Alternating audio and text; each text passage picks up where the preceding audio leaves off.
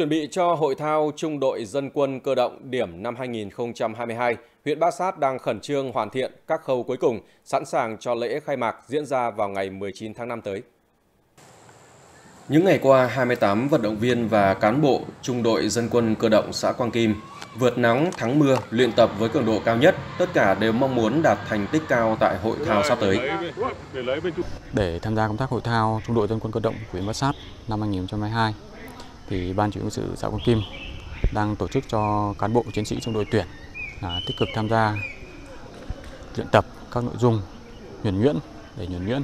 để giành thành tích cao nhất trong quá trình hội thao đợt này.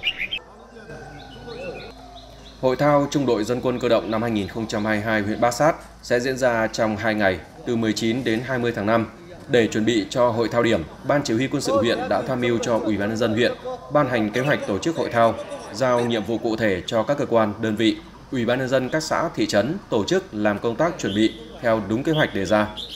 Phối hợp với các cơ quan, đơn vị tổ chức tốt công tác tuyên truyền, giáo dục về mục đích, ý nghĩa, nội dung hội thao, tổ chức luyện tập nghiêm túc, phấn đấu tham gia các nội dung đạt kết quả cao nhất, bảo đảm an toàn tuyệt đối về người, vũ khí, trang bị,